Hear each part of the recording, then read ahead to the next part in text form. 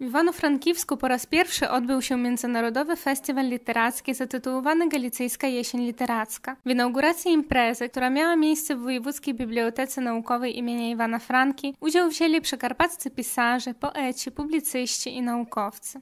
Jeden z organizatorów tegorocznego festiwalu, polski poeta Andrzej Grabowski, uważa, iż ogromne znaczenie w estetycznym i duchowym poznaniu posiada siła słowa pisarza oraz jego inteligencja twórcza.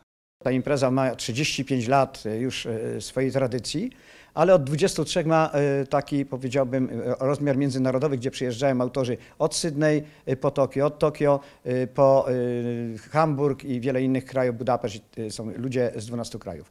Zależało nam na, na, tym, żeby wreszcie przyjechać do naszych przyjaciół na Ukrainę z tej prostej przyczyny. Łączy nas bardzo wiele. Łączy nas wspólna historia, łączy nas przede wszystkim tradycja słowiańskiego języka, łączy nas przede wszystkim coś, co jest ponad podziałami, bo poezja jest ponad podziałami i myślę, że my możemy razem jeszcze wiele zrobić dla Europy, bo po piękniejszej stronie świata spotykają się ludzie, którzy chcą się podzielić z innymi tym, co w nich jest najpiękniejsze.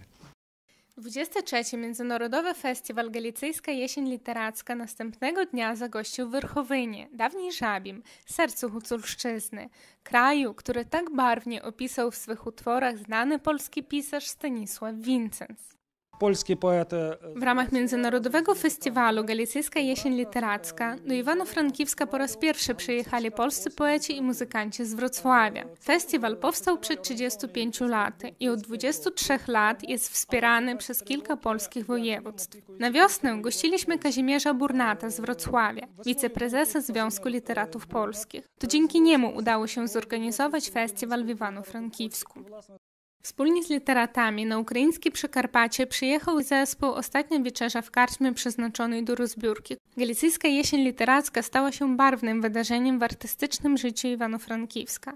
Z Iwano-Frankiwska dla kuriera galicyjskiego Olga Jerodenko.